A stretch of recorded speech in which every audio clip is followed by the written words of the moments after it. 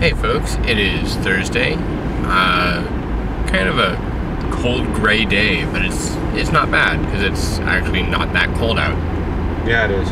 Yeah, it is. I've just been getting used to much colder, I guess. It's taco night, which is always awesome. I've got stuff to do at work, which is relatively awesome.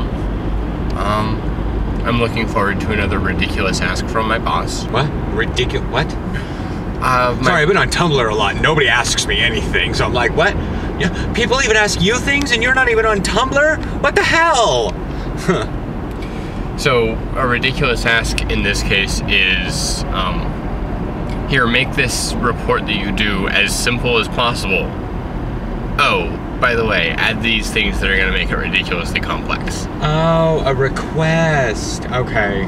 I thought you said ask. I did, Oh. because that's the way people at work phrase it. I have a crazy ask for you. Because they're asking you to do something. But they want you to do it. You don't have a choice in it. So they're requesting.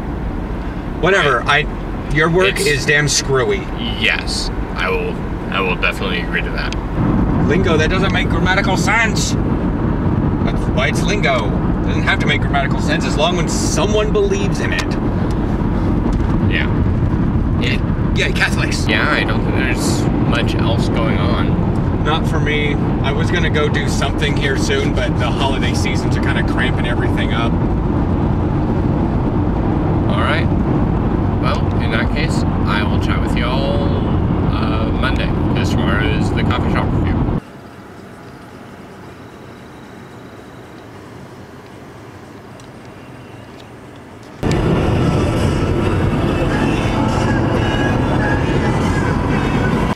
Well, I made it all the way out here after a quick swing by to get some coffee.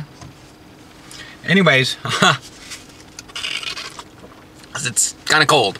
Yeah. Well, uh, let's see here. That's a sign.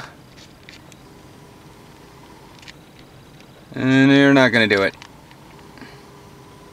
That sign right there says home of the PFL and GNFA champions which is the Pacific Football League, which is what the Monarchs are a part of. Yeah. And I'm just tootling around in here.